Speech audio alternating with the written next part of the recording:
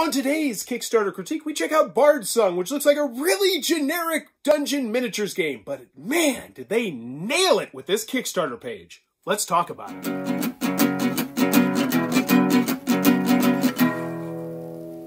What does that even mean, Bowers game?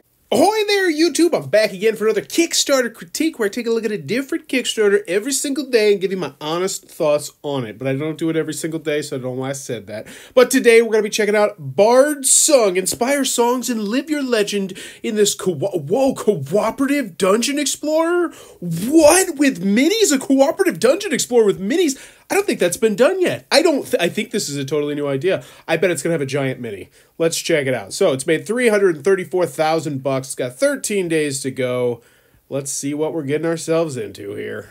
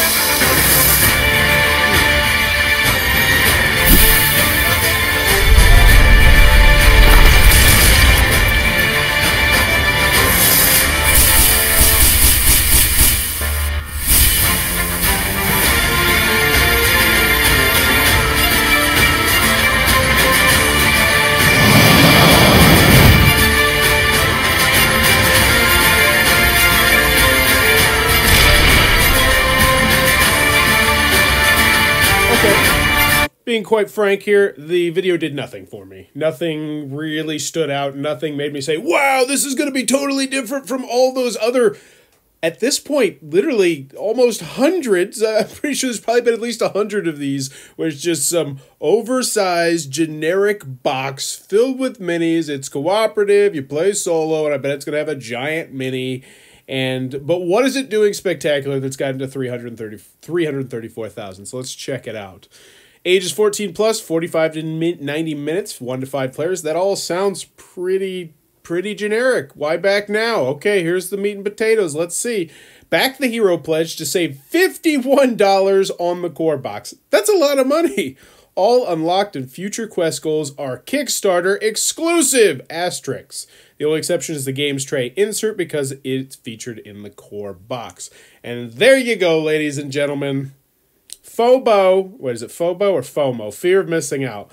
When you live long enough to become a legend, when you face blah, blah, blah. Legends are heroes who have adventures worth singing about. In a world where being sung by bards is the mark of a true hero, you begin with a single tile, a destination, and the desire to become song worthy. Hmm.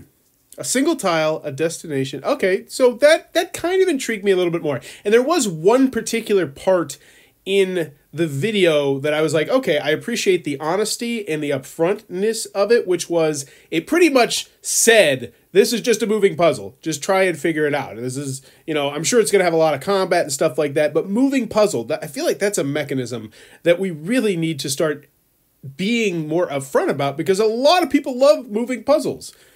All right, inspired by dungeon crawling and role playing classic, Bardsung is a cooperative dungeon explorer for one to five players. We got the cool moving pictures. Oh, look, hey, it's more minis. Inspire the song, that's the big one.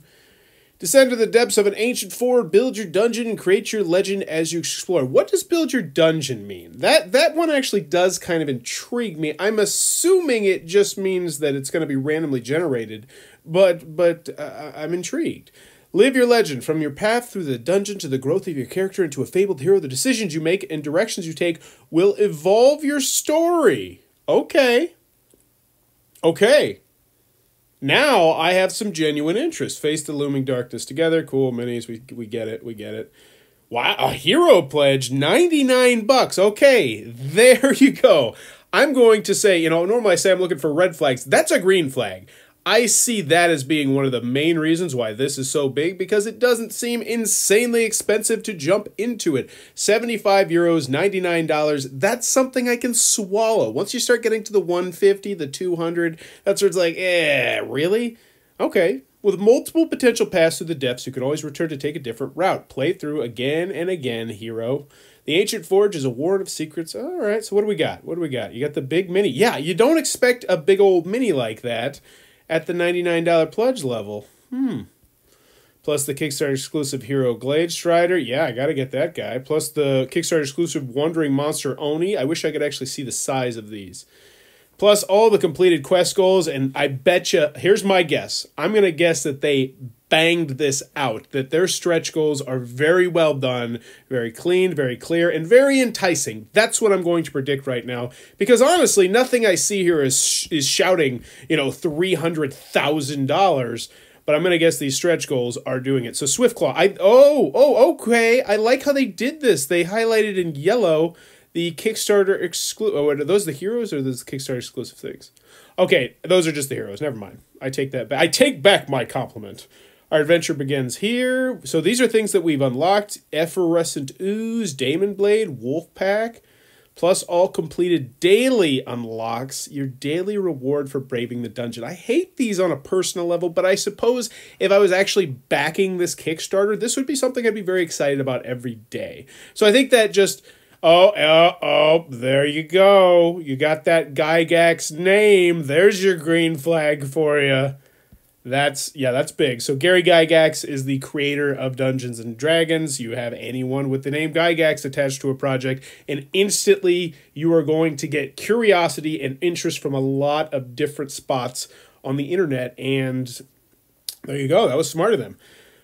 Our adventure begins here. What is this? Quest Oh, guest collaborators. Yep, there you go. So each one of these people has their own you and they highlighted the Gary Gygax there. Each one of these people has their own unique audience that they are going to share this with and that's really smart on their part. Like it's super duper smart on their part because let's be honest, game wise, nothing about this game is like saying, whoa, this is different enough from X, Y, and Z oversized mini cooperative dungeon game.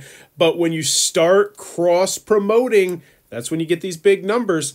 Add on marketplace, don't care, don't care, neoprene mat. Oh, there's not many add ons, but there's more coming. Look at that. They put the little.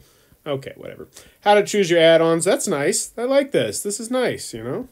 Because here's the thing I say some things about Kickstarter. Like when I see someone say, This is how you back the Kickstarter, I say, Really? I feel like everyone at this point, if you're looking at a hobby game, knows that. But actually utilizing the Pledge Manager, I still think it's one of those things where a lot of people do it, but not everybody's, you know, jumped into that for one reason or the other. So it's nice that they, they have a little guide there. Note that anything, blah, Bardsung is a game of pathways. Show me the videos! Show me the videos! Level up your hero your way. This is cool. Cool, cool, cool. Exploration. There we go, because dungeons are procedurally generated. Yep, there it is. So they're randomly generated. Okay, that, that takes back some of the excitement from me when it said, create your own dungeon. So it's like, you're not creating your own dungeon, it's just dungeons are going to create themselves. All right, whatever. So that, that diminished the excitement a little bit. Enemy behaviors, cool. Simple AI, I like that. Marching order, I do like that. I think that's a really cool mechanism.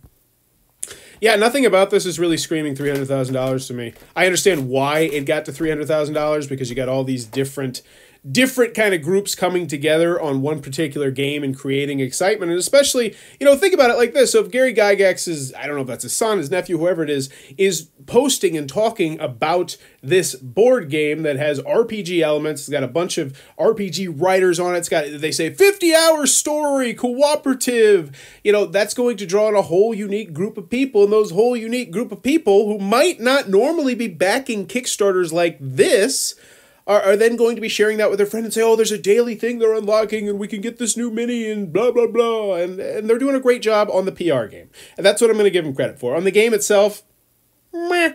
But on the PR, nailing it. absolutely nailing it. Rule booklet.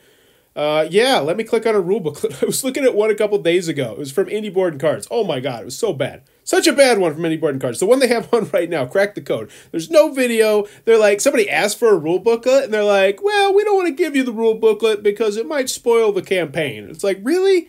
I want to see the rule booklet. Video, who do we got? Let's play Bardsung. Don't know. Okay. We got enough videos.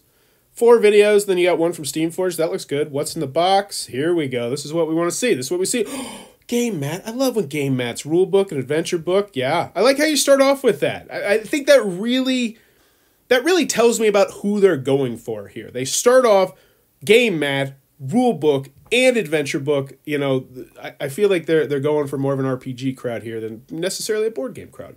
Ten dice five hero miniatures. Yeah, so they're not even starting with the minis. 895 cards. Wow, that's a lot of cards.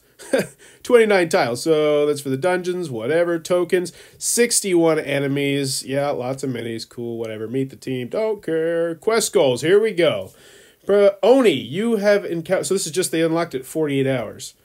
Game trays at 100,000, 130. Yep, this is what I was talking about. I told you, I bet they were going to be banging these stretch goals really well. And they have them at pretty, you know, eh, 60, 160 to 186,000 dollars. It sounds like a lot, but for a campaign like this, it's probably going to end with like 500 to a million 500,000 to a million dollars, you know, 26,000 like if they're giving something extra away every 26 or 30,000 bucks, that gets people excited. That means I want to check the Kickstarter page actively every few days to see, "Oh, what did I get? Oh, I got this cool. Oh, I got the wolf pack. Oh, oh but we're also we're uh, we're uh, lock the door. And your hero is knocking. Unlock the door. Did, did, aren't they already 258,000?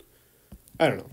Anywho, it I see what they're doing here. I think they did. Oh, so let's check out the shipping to the United Kingdom, USA mainland, 18 to 26. That's weird.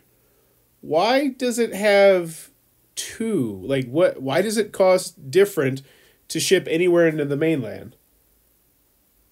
Huh. That's that's a little confusing. But anywho, what do they got? Kickstarter ends, Pledge Manager live, Pledge Manager closes, shipping commences. Let's take a look at over here. 75 bucks. Nice, clean, clear. 3,297. Wow, that's it. That's it. That and a Pledge Manager. Okay, there you go. That's exactly. There's a lot they're doing good here. Gameplay wise, once again, I say nothing here screams $300,000. I think a lot of companies would have put this out and would have squeaked along to say 50 to 100,000 bucks and it would have done well. But I love a lot of the things they did. It is so clean and clear over here on this hero pledge. Do I want the game? I click on that, I buy the game, I don't think about it anymore and I come back every once in a while and check out all the cool minis that I've unlocked. Okay? And then once you get to the pledge manager, then it's like, oh, you can, and that's that's also a great thing that they show you how to use the pledge manager. You can get the extra stuff, and there's not too much extra stuff. It's a very clean and clear Kickstarter. It's got lots of cross brand promotion, and overall, I think they're doing a great job with this. I would say this is a spectacularly run Kickstarter page, despite the fact the game itself, meh, meh. But everything around the game, I think they did a great job on. So there you go. That is today's Kickstarter critique for Bardsung. Another generic dungeon game, but they did everything else around the generic dungeon game very, very well. If you enjoy what I'm doing, please be sure to click on that subscribe button down below. Also, if you're interested in having a Kickstarter game critique, post it down below and hopefully I'll get to it. Also, if you want to guarantee it happens, or if you are a game designer and you want your Kickstarter done, be sure to check out that Fiverr link down below. It's five bucks. It's money back guaranteed too. So if you don't like it, you're like, man, I hate your video. You were too honest. Then you just, I'll just give you five bucks back. It will be good, and you get free promotion. Look at that. Scam me. Don't well, don't actually scam me because I need the five bucks. But uh, you know what I'm saying here. Anywho, bye.